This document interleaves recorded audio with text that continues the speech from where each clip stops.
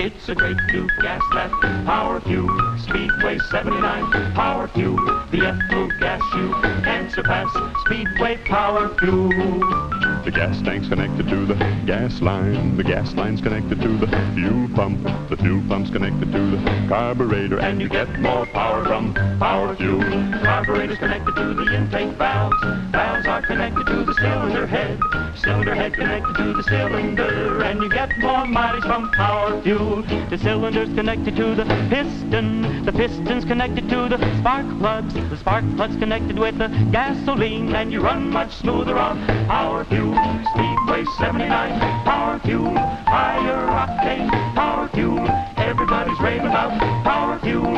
Speedway 79. So get yourself connected with Speedway. Speedway 79.